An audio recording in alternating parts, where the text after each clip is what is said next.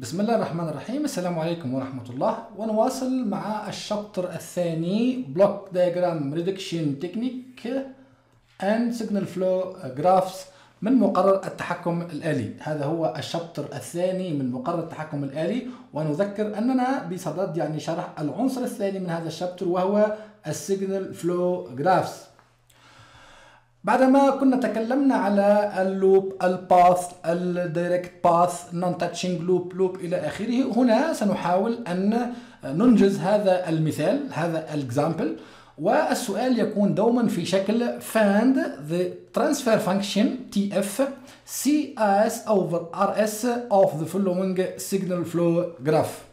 يعني عندي signal flow graph هذا هو signal flow graph الذي سنحاول أن نطبق عليه قانون ميسن. عندي أولا ال input هو R of S وال output هو Y of S. هنا من المفروض يعني نكتب not C of S بل هي Y of S على R of S لأن ال transfer function هو ال output على ال input. طيب نذكر بقانون ميسن. ماذا يقول قانون ميسن؟ قانون ميسن يقول أنه ال YS ys على r of s equal to sum from k equal to 1 إلى n tk دلتا k على على دلتا or pk pk دلتا k على دلتا وبالنسبة للآن الآن يعني هو نحدده من عدد المسارات المباشرة من البداية إلى النهاية أو من ال input إلى ال output. وبالتالي يعني أول شيء لازم نجيب the forward path. الفورورد باث عندي مسار أول P1 P2 and P3 يعني عندي ثلاث مسارات. ال P1 هو G1 G2 G3 G4 G5 G6 يعني هو المسار المباشر هذا. ثم ال P2 G1 G2 G7 G6 يعني G1 G2 G7 and G6 يعني بدأنا من البداية وطلعنا إلى من نقطة يعني ال output ثم ال path 3 هو G1 G2 G3 G4 G1 G2 G3 G4 إلى هنا. وبعدين عندي G G G8 sorry okay هذا بالنسبة لل path يعني ال path هنا عندي ثلاث مسارات وهي كل المسارات المباشرة من ال input إلى ال output فرضا لو يكون فيه يعني path أربعة وكنت نسيت يعني ما جبت الباث أربعة يكون يعني بعدين القانون خطأ ثم بعدين نتكلم على الفيدباك لوب. هنا we have 8 feedback loop.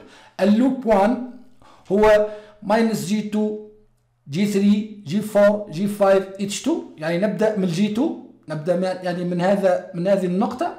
وهو G2 G3 G4 G5 H2 G2 G3 G4 G5 ونرجع بال بال H2 هذا ال loop الأول سميناها L1 هنا عندي إشارة ال minus هي بكل بساطة لأنه ال feedback minus H2 ال L2 for example هي minus G5 G6 H1 يعني نبدأ من G5 نبدأ من هذه النقطة.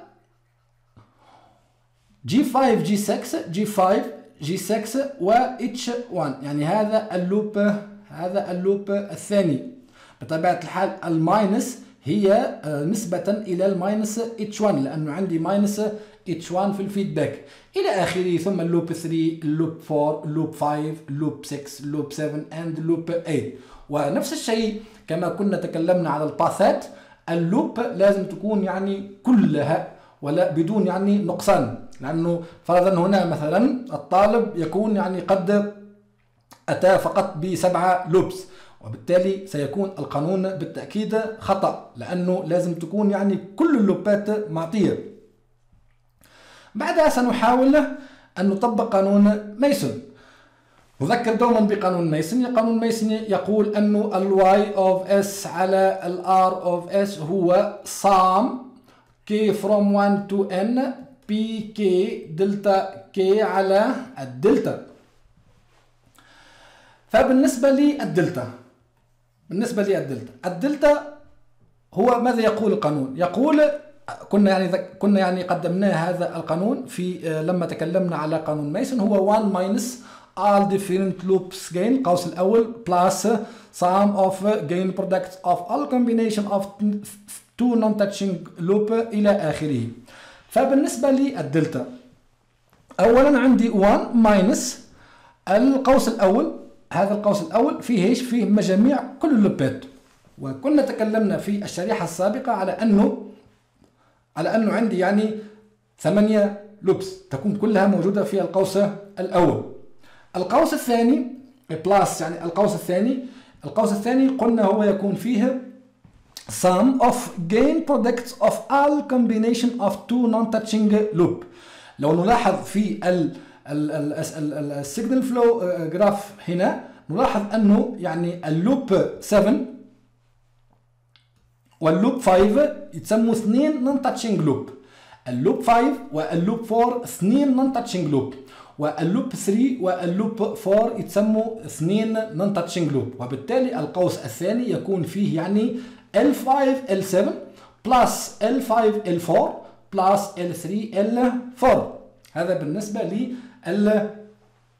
للقوس الثاني. القوس الثاني هو من الثالث sorry هو من المفروض يعني minus قوس ثالث يكون فيه gain products of all combination of three non-touching loops. في هذا ال graphs يعني آه ليس هناك أي 3 non-touching loop يعني ال non-touching هما اثنين بالاثنين بس. ما فيش يعني ثلاثة non-touching في نفس الوقت. بالنسبة للدلتا 1 والدلتا 2 والدلتا 3 نحن عندنا القانون هو y s على r of s هو هذا هو قانون Mason. وقلنا أنه آه، في هذا المثال بالذات يعني عندي 3 path يعني القانون يصبح y s على r of s بما أنه عندي 3 path يعني يصبح إيش؟ يصبح p 1 دلتا 1 plus p 2 دلتا 2 plus p 3 دلتا 3 على دلتا.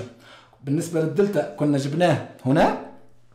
أما بالنسبة للدلتا 1 نحن قلنا أنه الدلتا 1 قانونه هو 1 minus non بين قوسين non-touching loop with path 1 لو نلاحظ أنه كل ال loopات هي touching مع ال path 1 وبالتالي يعني هذا القوس يساوي صفر وبالتالي يعني الدلتا 1 سوف تصبح بكل بساطة هي 1 نفس الشيء بالنسبة للدلتا 3 لو لو لو لو نلاحظ بالنسبة للدلتا 3 دلتا 3 قانونه هو 1 minus بين قوسين non touching loop with path with path 3 يعني تساوي إيش؟ تساوي 1 ناقص كل الحلقات التي لا تلامس ال path 3 ولو نرجع لل path 3 سنلاحظ أن كل ال loop ات تلامس ال path 3 وبالتالي نفس الشيء الدلتا 3 سوف تكون يعني تساوي تساوي 1 أما بالنسبة للدلتا 2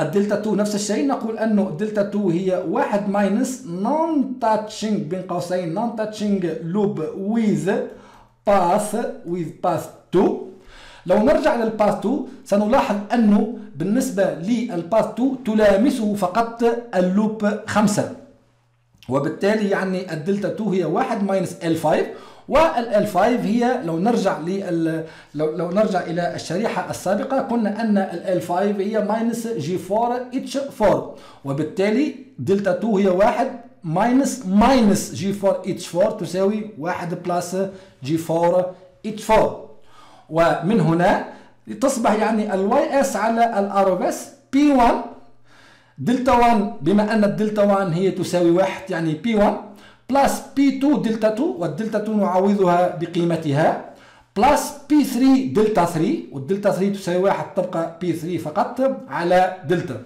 ونحن يعني عندنا يعني ال P 1 كنا جبناه في الشريحة السابقة عندي يعني ال P 1 ثم ال P 2 ثم ال P 3 وعندي الدلتا 1 اللي هي 1 والدلتا 3 اللي هي 1 والدلتا 2 اللي هي G 4 H 4 ثم عندي الدلتا. إذا عوضنا يعني ال P 1 بقيمتها وال P 2 بقيمتها والدلتا 2 بقيمتها وال P 3 بقيمتها والدلتا بقيمتها سنتحصل على ال transfer function Y S على R of S هذا يعني مثال على قانون ميسن. في هذه الحالة بطبيعة الحال يعني ال signal flow يعني معقد نوعا ما لأنه ثمانية loop و 3 path يعني يعتبر النظام يعني مركب ومعقد إلى درجة معينة.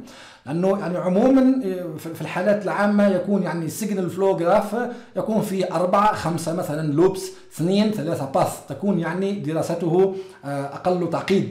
لكن هنا يعني هذا المثال يشرح لنا بصورة يعني دقيقة how to calculate the transfer function ys على r of s يعني الاوتبوت على الانبوت when we are uh, discussing uh, a signal flow graph Thank you very much for your attention.